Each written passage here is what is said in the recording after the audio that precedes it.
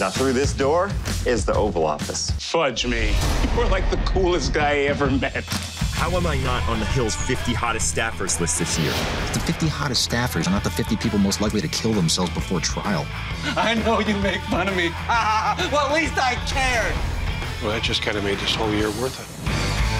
VP Doyle's a lame duck. You know what you do with lame animals? Care for them. You shoot them dead. Oh, no, yeah, I got you.